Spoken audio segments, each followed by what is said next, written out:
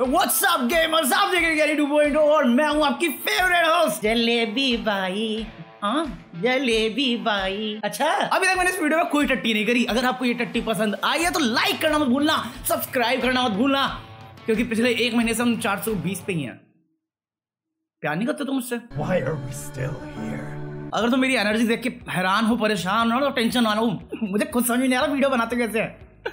भाई साहब इन दस दिन के अंदर ना मैं बहुत सारी चीज़ें कर सकता था। हज़ार चीज़ों पे प्रैक्टिस कर सकता था करवा सकता था सामान जो लानी था ला सकता था बट क्या किया मैंने? लाया ही होगा और क्या क्या होगा? हाँ हाँ, वो भी किया बट एक्चुअली मैंने कुछ भी नहीं किया। मैं दिन भर बैठ के बस यूट्यूब वीडियो देखता रहा डिफरेंट डिफरेंट और डिफरेंट भी किया। मिस्टर बीच की सारी वीडियो रिकमेंडेड आती है मेरे को। एक तो यूट्यूब की पॉलिसी ना इतनी टट्टी है माँ की आँख मारूं उनकी उनकी माँ की आँख मैं कैसे मार सकता हूँ? मार सकता हूँ क्या? माँ को आँख मार सकता हूँ माँ की आँख कैसे मारूँगा? अबे साले। यूट्यूब ऐसा पता क्या? अगर तुमने एक वीडियो देखी ना अरे ये ले सौ वीडियो ऐसी यही देख यही देख इसी बंदे की देख। अरे एक हद तक देख लूँगा ना मिस्टर बीस का चार पाँच चैनल है मैंने सारे चैनल की सारी वीडियो देख मारी है। पर एक बार नहीं दो दो बार। अबे अब तो मैं वो वीडियो भी कंप्लीट कर चुका हूँ जो दूसरे लोग बनाते हैं मिस्टर बीस के लिए। क्यों? दूसरा मैंने एलन मस्क के ऊपर कोई डॉक्यूमेंट्री देखी? यूट्यूब की आत्मा निकल गई। अरे एलन मस्क अरे, ये हज़ार वीडियो और देख। मैं मज़ाक भी नहीं करना चाह रहा बट एक्चुअली दस दिन तक मैंने इन दोनों की वीडियो देखी है, सिर्फ़ इन दोनों के नाम की वीडियो क्यों? डोंट टास्क मी बस छोड़ो वीडियो की शुरुआत में ऐसा बंदी रोना नहीं करना मेरे को। मेरे को मालूम है, मेरे साथ जितना भी गलत हुआ, दुनिया में बहुत हरामी लोग हैं। ये क्या चल रहा है ऑस्ट्रेलिया में? साले हरामी लोग? ज़्यादा नहीं हो रहा इनका, है? अभी धोनी ने रिटायरमेंट लिया तो सबका शेयर निकल रहा है, सबको रिक्की पॉन्टिंग बनना है। स्लेजिंग करेंगे। अबे क्रिकेट खेलो सालो, वही काम है तुम्हारा। गाली तो हम भी दे सकते हैं, तेरी माँ की, तेरी बहन की, तेरे भाई की। सही बात है। जेनुअली बोला, मेरे को समझ में नहीं आ रहा। और क्या बिगाड़ा बे? हम इज़्ज़त पूर्वक हार के आ जाते हैं। तुम्हें स्लेज करने की ज़रूरत क्या है? वैसे भी कौन सा जीत रहे थे हम लोग? सही बात है। मतलब सिराज और बुमराह गंदे साले आज अश्विन को भी चढ़ाने लग गए, हैं? कौन है भाई? तुझे आईपीएल नहीं खेलना साले पैसे प्यारे नहीं तेरे को। अबे तेरा खानदान भी हमारे पैसों से चल रहा है हमारे लोंडो को गालियाँ दे रहा है। मैं ज़्यादा गाली देना भी नहीं रहा था क्योंकि हमें तो पता ही ना ऑस्ट्रेलिया की सारी हरकतें। वाली है। लास्ट टाइम तुम्हें पसंद आता ना तुम्हारा इसमें भी फील देते हैं। सारी सुपर विलन औरतें वाली हरकतें इनकी। सुपर विलन इसलिए बोला है कि सारी औरतें को मैं विलन नहीं बोलना चाहता क्योंकि वो सच्चाई हो जाएगी फिर। कौन बोला? ए मज़ाक है। इस सज्जन को क्या तकलीफ़ है भाई? और सिराज और बुमराह में तो फिर भी ठीक था कि चलो लोग कर रहे तो हम बोल नहीं सकते। उन्होंने कंप्लेन करी ऑस्ट्रेलिया और क्रिकेट बोर्ड ने हम देख लेंगे। बड़े हरामी लोग हैं वो बोर्ड वाले भी। मतलब इतने हरामी लोग हैं ना कि यूट्यूब पे भी चीटिंग करते हैं। साले फेयर यूज़ में फुटेज यूज़ करो उस पर कॉपीराइट मार देंगे क्लेम मार देंगे स्ट्राइक मार देंगे। मैं बता रहा हूँ ऑस्ट्रेलिया को सुधर जाओ मैदान में भी और यूट्यूब पे भी। क्योंकि ये सब करना राठौर साहब गुना नहीं हम्म, सौ गुना है। और क्रिकेट की बात कर रहे तो ये पता चला तुम्हें? अपना विराट और अनुष्का नहीं है? हाँ हाँ वो जिन्होंने फ़ेमस किया था वो डॉटेड ब्लैक ड्रेस बच्चा हो गया उनको लड़की हुई है। मुबारक भैया भाभी। मुबारक नहीं बट एक बार सोचने वाली है कि लास्ट ईयर इतनी औरतें प्रेग्नेंट हुई है ना मतलब सेलिब्रिटी वाइज इस साल बच्चों के नाम होने वाले हैं। अब एक तो मेरे को समझ में नहीं आता साला किसी का भी बच्चा पैदा हो तुम तैमूर के पीछे क्यों पड़े जाते हो बे? क्या बिगड़ा बिचारे तेरा साला किसी का बच्चा हुआ। ले तैमूर पॉपुलैरिटी संकट में है। ओ जो भी ऐसे घटिया मीम बना रहे हैं ना मैं तुम्हें बता दूँ करीना फिर से प्रेग्नेंट है। उसका छोटा भाई आने वाला है। उसे पहले से पता है कि हाँ हाँ ये बच्चे वाली खेल है जिसको करना कर लो। जीतना तो मेरे को ये मेरा भाई आने वाला है। ये बहन भी आ सकती है। और मेरे को लगता है ना लोग तैमूर के ऊपर मीम्स बनाते ही इसलिए है क्योंकि उसके पास वो सब कुछ है जो हम सबको चाहिए। मतलब पैसा फेम नूरा फतेह की ji Stop it. G F Noora Fateh ji F बनना चाहते हो उसकी मैं ये बताना चाह रहा था। जिनको नहीं मालूम ना नीरा नूरा फतेह ने करीना कपूर के शो में बोला है कि वो तैमूर से शादी करना चाहेगी। और अगर तुम इस चैनल के रेगुलर फॉलो ना तुम्हें तो पता होना चाहिए कि मेरे को पता नहीं क्यों कोई रीजन है नहीं स्पेसिफिक बट मुझे पसंद नहीं आती वो। आज मुझे समझ में आ गया रीजन साली शक्ल से पेडोफाइल लगती है। ओ भाई मारो मुझे मारो। जो कह वे। और पॉइंट है कि नहीं मेरी बात का। अबे इतने सारे टारगेट है उनको डेट कर लो ना। तैमूर ही चाहिए क्यों? तैमूर तो एक्चुअली छोटी लोली वाला लेस्बियन है। तैमूर नहीं अबराम ले ले। आ, साला अबराम भी सोच रहा होगा उसमें ऐसा क्या है जो मुझमें नहीं? मैं भी सी एल डब्ल्यू एल हूँ। नहीं हूँ पापा। हाँ हमारे यहाँ ऐसे ही होता है। इस चैनल पर कुछ भी होगा तेरे को क्या लाइक क्या तूने? मैं बता रहा हूँ, अगर अभी तक एंजॉय नहीं किया ना, आगे बहुत मज़े आएँगे। ऐसा मैं को अपने आप को कन्विंस कर रहा हूँ। क्योंकि लोग कहते हैं ना, खुद पे भरोसा होगा, तभी तुम दूसरे को भरोसा दिला सकते हो। सच्चाई तो ये कि तुम्हें भी मालूम है, कुछ नहीं होने वाला। बस न्यूज़ बता के निकल जाऊँगा मैं। साला, मैं स्टार किड के ऊपर जोक मार रहा हूँ कि नूरा फतेह तैमूर से शादी करना की सोच रही है, और हम यहाँ पे बायोडेटा नहीं बना पाते। अरे चलो, मेरी छोड़ दो यार। कैरी कैरी में क्या बुराई है? सब कुछ उसके पास। उसके लिए बोल देती। बाकी कैरी की खबर सुनी तुमने? मूवी में आ रहा भाई मेरा। है? अजय देवगन की वो भी। अमिताभ बच्चन के साथ वाली। बट uh, मेरे ख्याल से उसकी शूटिंग कंप्लीट हो गई। ये क्यों बताया पता ना तो मैं नहीं। अरे स्टोरी डाली थी ना उसने इसलिए बता रहा हूँ। ये नहीं मैं क्लिक बना रहा हूँ। भाई को मिसयूज नहीं करते हम। क्लिक बेट के लिए बिल्कुल नहीं कता ही नहीं। सही मैं क्लिक बेट के लिए बना बता रहा हूँ और क्या मुझे क्या फ़र्क पड़ता है? वो दिल्ली वापस आ गया पॉल्यूटेड एयर की याद आ रही थी उसे। बट एक बात मैं मानूँगा क्या रही कि अगर तुम दिल्ली से ज़्यादा समय दूर रहो ना वापस आके तो मैं ये पॉल्यूटेड एयर अपनापन देती है। मतलब बाहर चले जाओ अच्छी एयर में अपनापन सा नहीं आता। दिल्ली में होता है सब। वो अलग ही फील होता है है ना? नहीं। पका रहा हूँ मैं। लाइक नहीं किया ना तूने इसलिए पका रहा हूँ मैं। मैं कह रहा हूँ लाइक कर दे।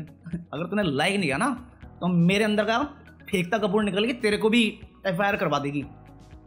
फेंकता ही नहीं करवाया भी अरे अब वो नहीं अपने हिंदुस्तानी भाऊ? तो उनका सीन हुआ था ना कुछ महीने पहले। तो अभी कोई चैम्बूर में उनके ऊपर एफआईआर होगी। तो उस पर रिएक्ट करते हुए भाऊ ने कुछ बोला है। तो बेसिकली एक कपूर की एक सीरीज़ आई थी जिसमें आर्मी ऑफिसर की ड्रेस का मज़ाक उड़ाया गया था मतलब डिसरिस्पेक्ट दी गई थी, जिस पे भाव थोड़े अपसेट थे और फिर वो पीछे पड़ गए थे मतलब उन्होंने एफआईआर दर्ज करा दिया था, जिसके बाद बालाजी वालों ने वो सीन रिमूव कर दिया था। तो उसी के चलते ये सीन अभी भी कंटिन्यू हो रहा है कि वो जब उस टाइम पे किसी रिटायर्ड आर्मी ऑफिसर के साथ गए थे कंप्लेन करने के लिए तो अभी उन दोनों पे, उस रिटायर्ड आर्मी ऑफिसर पे भी मतलब नोटिस आया हुआ है और भाव के पास भी नोटिस आया हुआ है। एक्चुअल कॉज क्या ये मुझे नहीं मालूम और नहीं मेरे को पता चला है कहीं से भी। बट उन्होंने बोला कि हाँ मैं सच की आवाज़ उठाता हूँ ना तो यही होता है F I R F I R होता है मेरे तो उनको बुलावा आया था पुलिस स्टेशन से कि पूछताछ करने के लिए। तो फिर वो वहाँ पे गए, पुलिस वालों से बातचीत हुई, लोग सपोर्टिव थे, समझ रहे थे, क्योंकि एक वैलिड पॉइंट था उनका। करने तो बात ही गए थे बट टाइटल में तुम्हें जेल दिख रहा होगा, क्योंकि क्लिक बेट नहीं बना रहा। क्योंकि भाव ने जब ये बताया ना तो ऐसा बहुत सारे लोगों को लग रहा था कि उनको जेल होने वाली है। मैं सोर्स से बोल रहा हूँ मतलब मैंने पढ़े नहीं थे कमेंट फिर भी मुझे लग रहा है कि कुछ लोगों को लगा होगा ऐसा। तो ये क्लिक बेट नहीं हुआ, ठीक है, बकवास नहीं करनी मेरे से। यानी ऐ नहीं बने क्लिक बेट नहीं है ये। मिसलीडिंग भी नहीं है। मैंने क्लियर कर दिया, सिर्फ़ बात करने गए थे। कोई जेल में नहीं है भाऊ सिर्फ़ बात हुई थी, पुलिस वाले सपोर्टेड थे, चैम्बूर पुलिस रॉक्स वो अपना काम कर रहे थे। भाऊ ने इज़्ज़त पूर्वक पुलिस वालों की इज़्ज़त रखते हुए बात कर ली, काम खत्म। टाइटल बन गया, कोई गाली नहीं देगा। डैंग बन डैंग बन।